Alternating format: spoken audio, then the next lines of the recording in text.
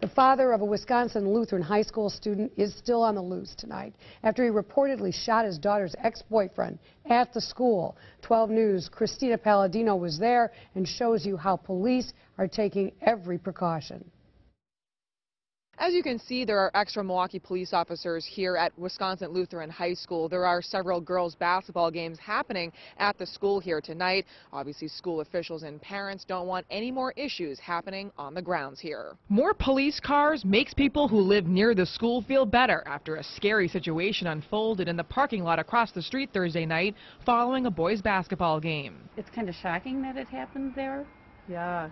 Um, and the extra police presence, you know, that's always an okay thing. You know, it kind of makes you feel safe. Police were called to the high school after two girls got into a brawl over a 15-year-old boy.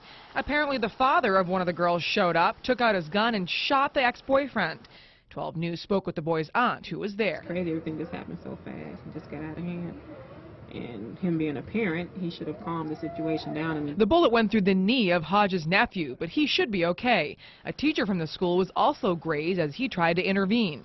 We've also learned the father is a 37-year-old felon with a long rap sheet and should not have had a gun. We did speak with the principal off camera this evening. He tells me the school is just focused on getting back to normal. At Wisconsin Lutheran High School, Christina Palladino, WISN 12 News.